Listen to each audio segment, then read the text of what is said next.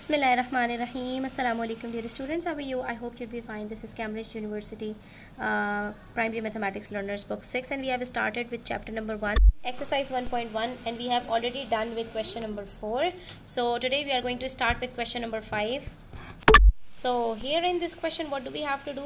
We have to expand the given number and we have to figure out that which of the digits are missing. So if we talk about 37.844 it is 30 right plus 7 then comes point that is the decimal so it is plus 8 upon 10 plus 4 upon 100 plus 4 upon 1000 okay so before even looking at the whole question we are going to open up we are going to expand the number that is given on our own so if we look at this number now we can easily figure out that which of the five are missing in uh, the expanded form. The 30 is given, yes. 7 is given, yes. Then 8 upon 10 is missing. So we can write it as 0 0.8.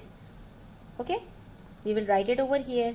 Then 4 upon 100 that is 0 0.04 is given yes it's there so we are left with the last one which is 0.004 we have talked about it in detail that if we have been uh, provided with the decimal uh, digits so we are going to expand it either in fraction form or in the decimal form so the last one would be 0.004 and that's all so you can take any of the number and you can practice these questions the same way for example, we have a number 162.57. So what is this number? This is 100 plus 60 plus 2. Okay, these are the whole numbers. Then we talk about the decimal. So it is 5 upon 10 plus 7 upon 10. Now we will figure out that which of the numbers are missing. So if we talk about 100, 100 is missing. So we are going to write it over here. Then 60, 60 is done. 2, 2 is done. Then 5 upon 10. 5 upon 10 is 0.5 so we are going to write it over here. Then 7 upon 100 is 0.07 so it's already there. Okay? Sorry it's 0.07 so this is how we have to complete it. Similarly let's take one more question over here. For example we have 90.243 okay? So what would it be? It would be 90 plus 0 because in the units place we have a 0 then we have three decimal places. Then we have 2 upon 10 then 4 upon 100 then 3 upon 1000 so what would it be? It is 0 0.2 then 0 0.04 then 0 0.003 that's all so if any of these numbers is missing you just have to expand the number which is given on your own and then you have to figure out that which of them is missing so you will fill it fill out the blank uh, uh, related to it so in question number six, that's what we have to do. Patra is regrouping decimal numbers. She spills ink on her work. You can see that two of the numbers are missing over here. So what number is under each ink blot? 0 0.546. 0 point means there is no whole number. So starting from the first one. It is 5 upon 10. That is 0 0.5. Then 4 upon 100 is 0 0.04. Then 6 is 0 0.006.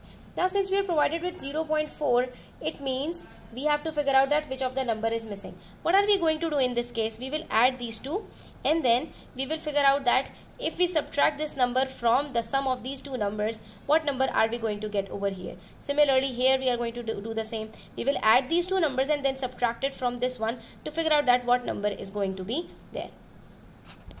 First of all, we will add these two numbers 0.4 plus 0.006 okay so it becomes 0.406 now in the next step since we are provided with the whole number over here which is 0.546 so what are we going to do now we will subtract it from the given number so it would be 0.546 minus 0.406 and when we will subtract it we will get 0 4 1 so it's 0.14 so what is the number missing out there? It's 0.14. How do we know that it's 0.14? What are we going to do? We will check if after adding these three numbers, are we getting 0.546? Let's check it. So we will write 0.4 plus 0.14 plus 0.006. now let's verify that if we are getting the same answer by adding all these or not so here we do not have any decimal places we will add the 0 0 0 6 is 6 0 4 0 is 4 4 plus 1 is 5 so it is 0 0.546 you can check it that yes we are getting the same answer over here. So what did we do? We simply add the given numbers and then we will subtract it from the given whole number right? Same we are going to do with part b. So we will repeat the same process. First we are going to add 0.7 with 0.07 so it's 0.7 plus 0.07 is 0.77 okay then what are we going to do? We will take 0.789 and then subtract it with 0.77 then we will do it. We are going to get 9 minus 0 is 9 8 minus 7 is 1 7 minus 7 is 0 so it's 0 0.019 so the answer would be 0 0.019 now you can check your answer. If we add 0.7 with 0.07 with 0.019 so what do we get? Here we have two zeros. 009 is 9 071 is 8 7 plus zeros is 7 so this is 0.789 which is the given number. You see how easy it is. So whenever you are provided with the expanded form of number and some of the number is missing always do the same technique right? So you are going to get the correct answer okay now the very interesting question is out there. So we have to learn that whenever we multiply or divide any number by 10 100 or 1000 what happens? Okay so let's try to do it using a single number. Let's take a random number out here okay? When I'm going to multiply it by 10 what will happen? The decimal will move one place to the right side and it comes between 3 and 2 and the answer would be 143.2 okay? Now if we have like 14.3 to the same number and when I will multiply it by 100 then what will happen? The decimal will move two places forward. The number of zeros are directly proportional to the uh, movement of the decimals. Okay? If we have only one zero we will move one place to the right if we are multiplying it by 100 we will move two places to the right. So the decimal will come after 2 but since 2 is the last digit so we are not going to write it at the end. The answer would be 1432 1432 now if I multiply the number by 14.32 by 1000 then what will happen? So my decimal will move three places forward. But I do have only two decimal places. So what should I do now? Since I have to uh, forward the uh, decimal to three dec uh, places after. So I have to put a zero over here. Okay? If any digit is missing so I will put a zero. So this number would become 14320 that is 14,320 now let's do the same process by division. So if we have 14.32 and I have to divide it by 10 then what will happen Earlier we were multiplying it by 10, 100 or 1000 so the decimal places were moving to the right of the given number okay? But since we have to divide it now my decimal will move backward. If I'm uh, dividing it with 10 it will move one place backward and it comes between 1 and 4 so it becomes 1.432 okay so the original number was 14.32 after dividing it by 10 it becomes 1.432. Similarly if I have a number 14.32 divided by 100 now my decimal will move two places backwards. 1 and 2.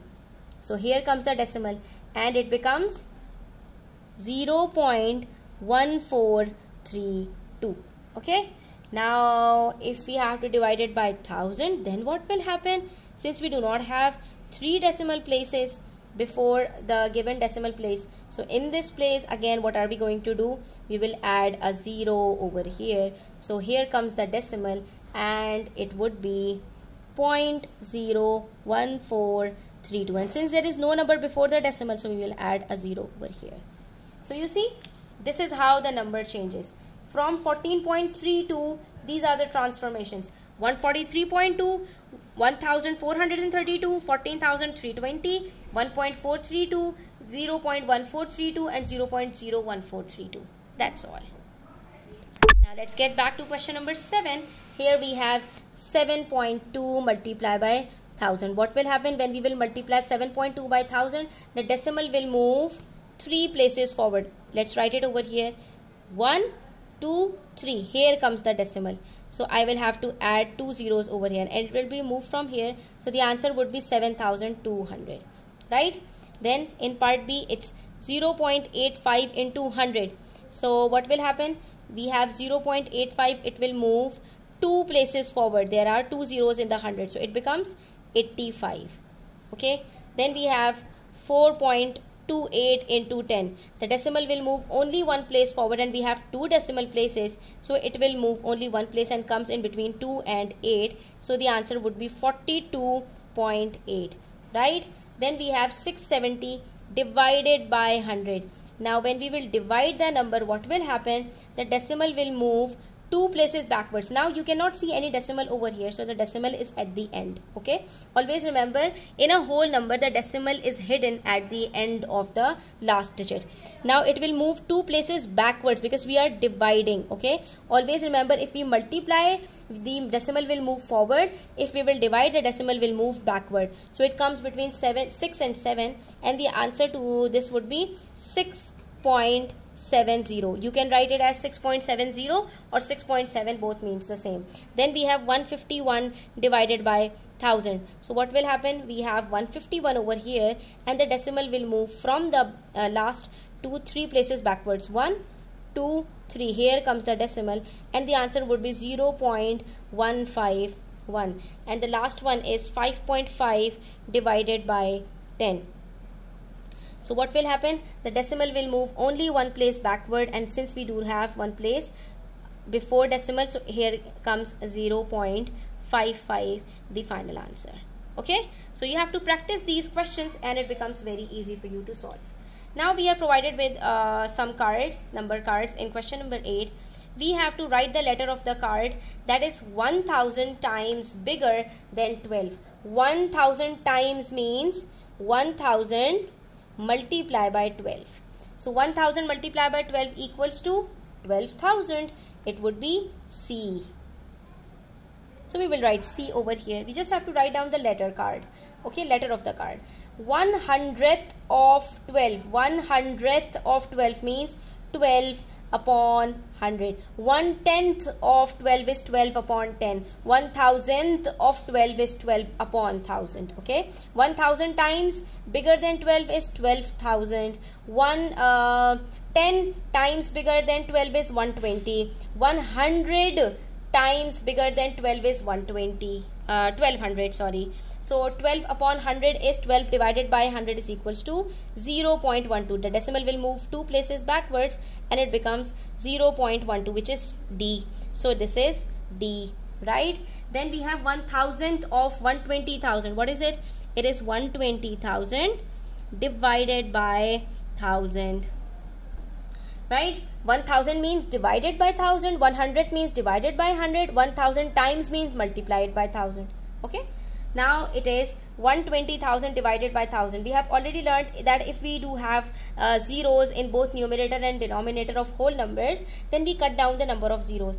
So 1 2 3 1 2 3 what are we left with? It's 120 it means the answer to this would be part E. So it's the sequence given of CDE as ABC okay?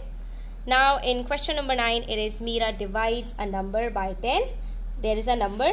She divides it by 10 then divide uh, by 10 again and then by 10 again. So she divided the number by 10 thrice three times. It means she is dividing the number by 1000 okay? And her answer is 0.005 so it means the decimal has moved three places backwards. So what number did she start with? It was definitely what are we going to do? We will simply multiply the given number by 0.005 to uh, uh, find the original number. What are we going to do? We will do the reverse. That is we will multiply it by 10 then by 10 then by 10 because they divided it by 10 three times so we are going to multiply it by uh, 10 three times. So 10 into 10 into 10 is 1000 and when we multiply a number by 1000 the decimal will move three places backwards. So it becomes 005.0 that is 5 okay? Because we do not put the zeros before the whole number.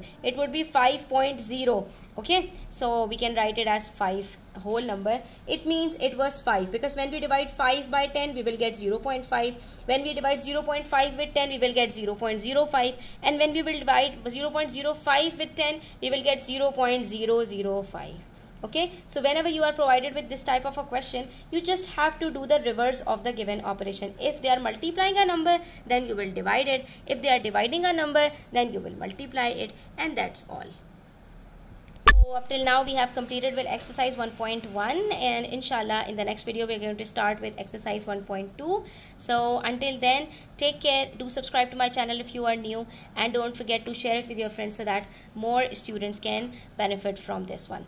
Okay? So take care. Allah hafiz